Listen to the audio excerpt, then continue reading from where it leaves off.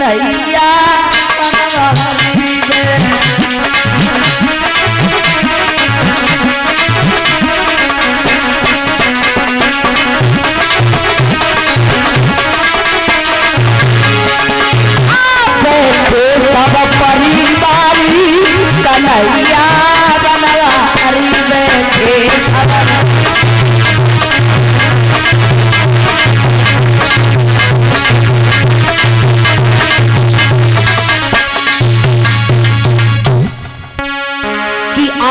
श्याम जो तुम नहीं आए।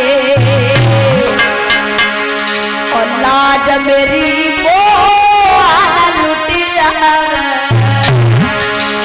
सब हंसे नर नारी कन्हैया बनवारी हंसे सब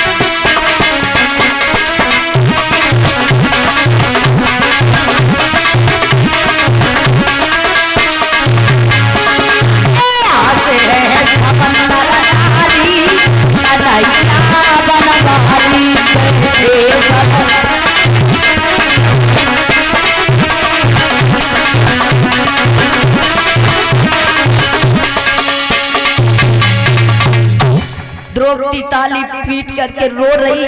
माथा पटक रही। कन्हैया ने द्रौपदी की पीड़ा को सुना एक पैर। द्वारका में रखा एक खतनापुर में भगवान साड़ी बनाने लगे। कैसे परिचित जी? कुछ समझ में नहीं आ रहा है।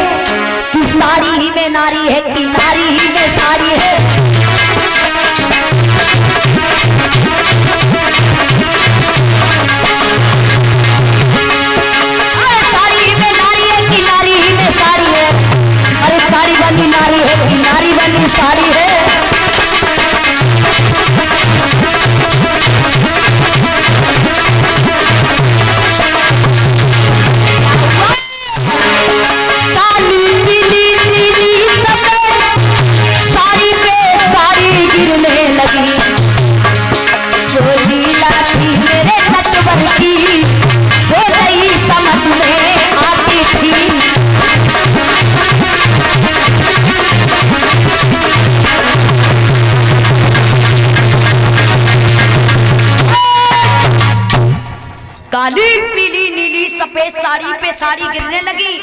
वो लीला थी नारायण की जो नहीं समझ में आती थी। साड़ियों के ढेर लग गए। साड़ी में नारी है कि नारी में साड़ी है? साड़ी बनी, नारी है या नारी बनी? साड़ी है। साड़ियों के खिंचते खिंचते ढेर लग गए, लेकिन साड़ी नहीं चुक रही है। जसवासन साड़ी खींचते खींचते बेहोश होकर के ज़मीन पे गिर गया। द्रौपदी ने केसों को खोल दिया, जाइए उसी दिन बाल बांधेंगे, जिस दिन तेरे लोहू से धोएँगे, वरना ये केस नहीं बांधूँगी। तभी से परीक्षित जी युद्ध चला रहा है। दुर्योधन की निन्यानवे अठारह चोड़ी सेना मारी गई निन्यानवे भाई मारे गए।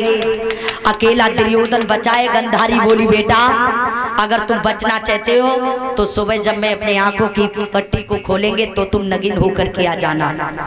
बोले, ठीक है। सुबह हुआ, दुर्योधन ने शरीर के वस्त्रों को उतार करके फेंक दिया। और जब वस्त्रों को उतार करके फेंक दिया है और नगिन होकर के चला गंधारी, बोली, बेटा आ गई बोली हाँ शरीर पे कोई वस्त्र तो नहीं है? बोले, नहीं है। बोले, पट्टी खोले। बोले हाँ। आज जैसे ही पट्टी को खोला देखा, कमर से केला के पत्ते बंधे हुए हैं। गंधारी बोली, बेटा, अब तुम्हें कोई नहीं बचा सकता है। क्यों? क्योंकि जहाँ तक मेरी नज़र पड़ी, वहाँ तक का तुम्हारा शरीर वज्र का हो गया है। इतना ही शरीर कच्चा रह गया है। इसी शरीर के वजह से तुम्हारे प्राण चले जाएँगे। बोले, अगर छिपना चाहते हो तो कहीं ऐसी जगह छिप जाओ जो पांडवों को पता ना चले। तो समुद्र में जाकर के दुर्योधन छिप गया। इधर कुंती आरती की थाली लिए खड़ी बोली, उसी बच्चे की आरती उतारेंगे जिसने दुर्योधन को मारा होगा। पाँचों पांडवों ने मना कर दिया।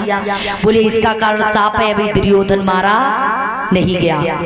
तो आज का नैया पाँचों पांडवों को लेकर के पहुँचे। समुद्र के पास में।